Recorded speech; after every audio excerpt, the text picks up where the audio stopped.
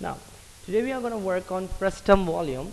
We have to make clear about, you have to be clear about few things that what is the frustum and what is the volume. I'll be using this presentation, it's very nice, it will be really helpful, it has some questions which will be helping you to review the topic. Now, look at the picture. Cholula is the largest pyramid in the world by volume.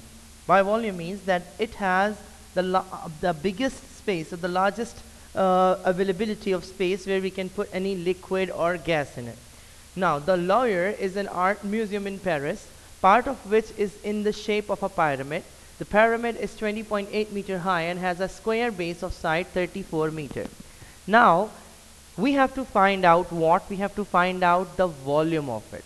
But for finding a volume, we have to be clear about few things. Number one, they have given us the height and they have given us the base, which is a square base of a side 34 meter. Now they want us to calculate the amount of liters of the air pyramid would contain. The thing is that the formula that we can use here is 1 over 3. Volume is equals to 1 over 3 times base area times height. If I'll share that with you first, let me just discuss this point that 1 liter is equals to 1000 centimeter cube. Why we are discussing this here? Because they want us to tell the answer in liters. And for finding the answer in liters, we should know that 1 liter is equal to 1000 centimeter cube. For this one, if we will convert the units of 20.8 meter into 1000 centimeter cube, we know the formula 1 over 3 times base times height. 34 meter is equals to 3400 centimeter. They have given us the value of one side since it is a square so we can multiply a side to itself or we can take the square of the side to get the answer. So 34 times 34 will give me the number, but since they want us to give the answer in liters, we converting it into centimeter first. After converting it into centimeter, I got 3400 centimeter and 2080 centimeters. So first thing what I did here, I changed meters to centimeters. At the end, when I will multiply, when I will solve this question, my answer will be in centimeter cube. And after knowing that my answer is 1 centimeter, 1, uh, is in uh, centimeter cubes, I can divide it with 1000 to get my answer in liters. How? Just take a look, you will get the correct picture. Now, 34 meters, which was this one here, is now converted into centimeter. 20.8 meter is 2080 centimeter. What I'm going to do here is, I know that the formula for volume is 1 over 3 times base area times height. Base area means 3400 times 34 because we know that 34 is the length of one side. So 34 times 34 makes what? Uh, volume is equals to 1 over 3 times 3400 times 3400 times 2080 2080 is what? It's from here. Now volume is equals to this. When you calculated this number you got this big number. We know that centimeter cubes thing. Forget about this whole value. Just look at this centimeter cube. This centimeter cube and this centimeter cube here they will show you the correct picture now because we know that 1000 centimeter cube 1000 centimeter cube is equal to what? 1000 centimeter cube is equal to 1 liter. So if I'll take this value and I will divide it with 1000 cent 1000 you will find the correct number. Like I'm dividing it with 1000 the answer will be 8014.9333.333 whenever you are dividing any number with hundreds or thousands just remember this tip here that if have 2, 3, 6, 8, 4, 9, 7, 2, 8 and you are dividing it with 1000 remember that this number has a decimal at the end. So if you're dividing it with 1000 just take these three zeros and move the decimal to three places to the left side. 1 2 3 so your answer will be 2 3 6 8 4 9 2 3 6 8 4 9.728 so this means you just divided the number with 1000 this is a tip if you have 100, you will move it to only two places. If you have 10, move it to only one place. Now, moving it further, this is what? This is the value in liters. Now we figure out the volume. We figure out the volume of this pyramid that this amount of gas can be used or liquid can be used in this pyramid. Let's have a look at another question. A frustum is if it is effectively a cone or a pyramid with a smaller pyramid or a cone cut off. Let's understand this with a picture that if this is one cone here and I'm cutting it into half from this point, you will get this circle here and this circle here and this portion here, this is called frustum. Finding the volume of frustum will be little tricky in this way. How? Just have a look. Um, sometimes we have circle at the base, sometimes we have square, sometimes we can have rectangle, we can have different shapes in the, in the bottom. We have to find our base area since we know that 1 over 3, uh, 1 over 3 times base area times height is my answer, is my volume. So I should know that what is my base object. If it is a square, I will multiply the same thing to itself because square formula is length square. And if I'm talking about a rectangle, it will be length times width. If I'm talking about a circle, it will be pi r square. Whatever that thing that we have in our denominator in the basement of the object, we can times it with the height to find the answer.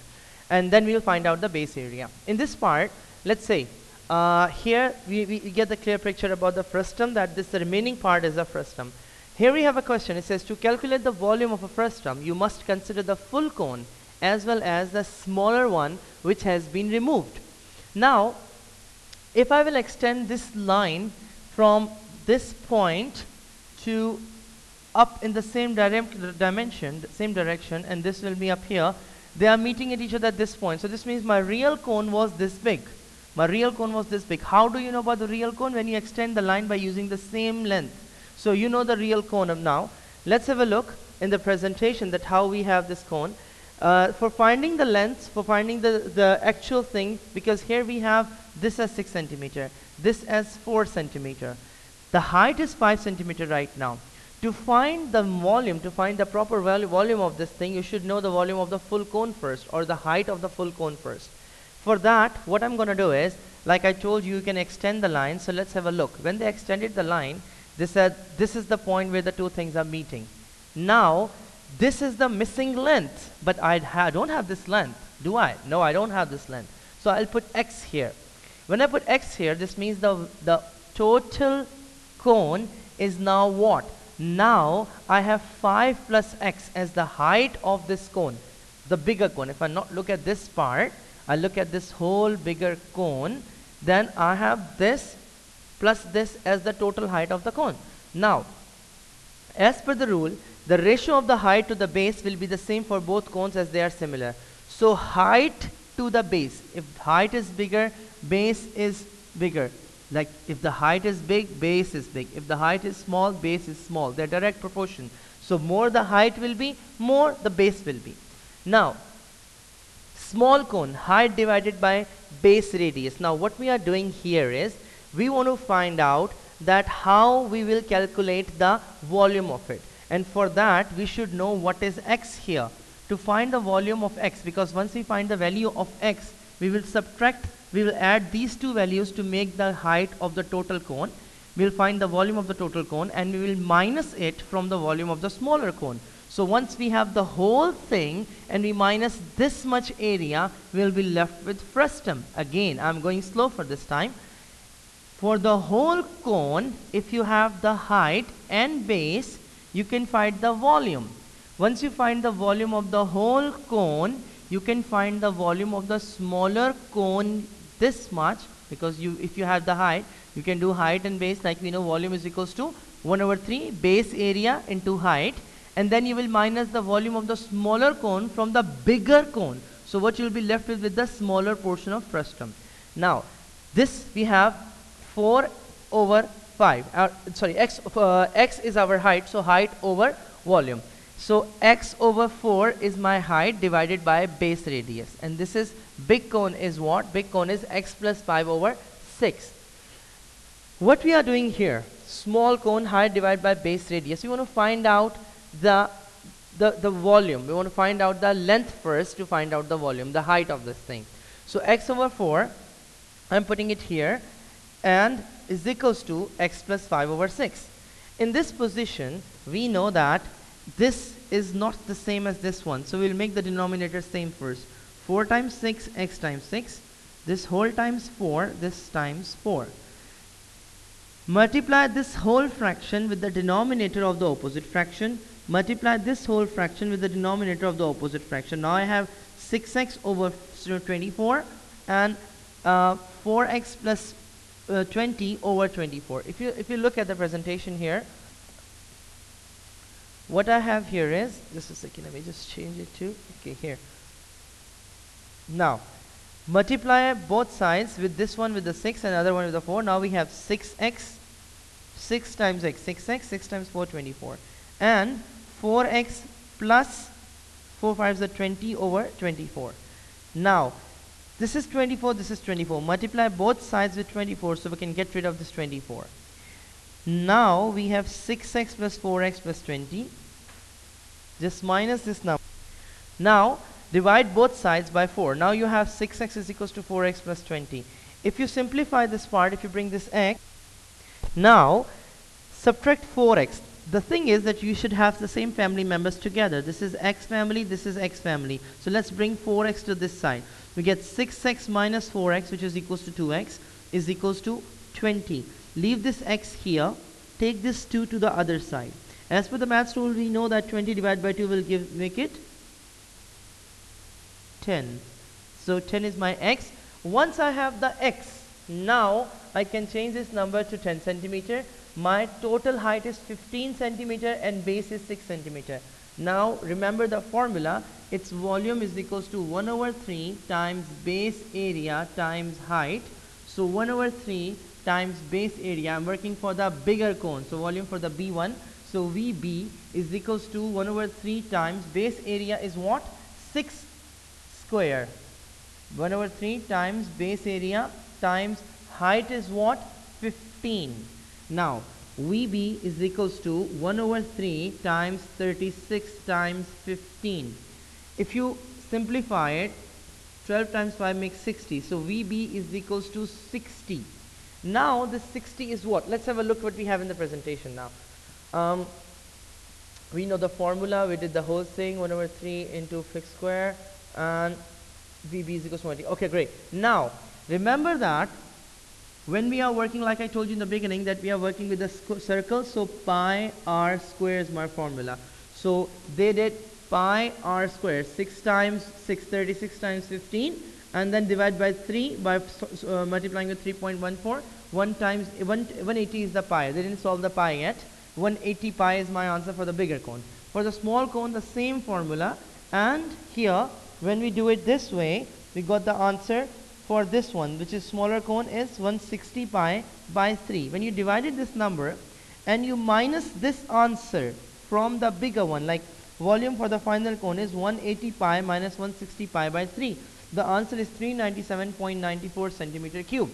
This is the volume of the smaller cone and this is the volume of the bigger cone. Minus them with each, other you will find the thing. If you're still confused about this part let's take an example of this rectangle. If I want to know the area of the non-shaded portion. What I will do I'll find the volume of 8 times. Let's say I'll find the area of this one and 3 times 2 I'll find the area of this one and I will minus both areas. So 8 times 972 is the area of the whole thing. 3 times 2 is the area of the shaded part. If I will minus it from here 66 will be my answer for 72 minus 6 will be 66 yeah 66 will be my answer for the non-shaded portion so the bigger one I minus the smaller one I left with the remaining part. Same thing we did here. Uh, you can see the another example here. Let me show the another question. You can calculate it. And uh, I'll give you some time for that.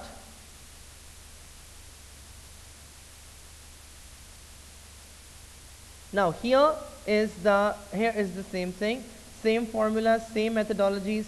I hope you will uh, understand this part because the same thing here and we are done with this part. You can check that now to calculate the volume like we did the x part first. Remember that we figure out the x first, the missing length, missing height of the thing and then we solve it and then we find out the, uh, the answer.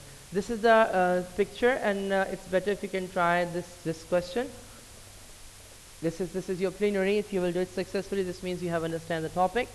Thank you very much for watching this video. I am sure that you will be able to understand this part. If there's any confusion you feel, please let me know. I'll be able to read your comments in the comments corner. Thank you very much. Have a nice day.